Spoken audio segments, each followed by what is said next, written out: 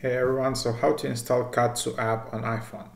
So this is the app and you just tap on download or cloud icon if you already downloaded it. It's uh, 34 megabytes only and this is uh, uh, yeah this is an app you can get modules uh, and like different anime modules here basically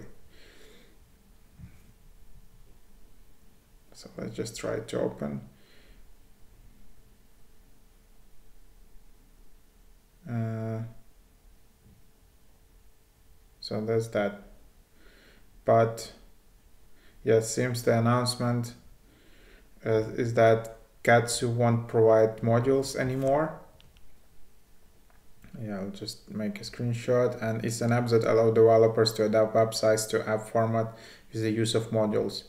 These modules won't be provided by Katsu anymore and you are free to develop your own modules.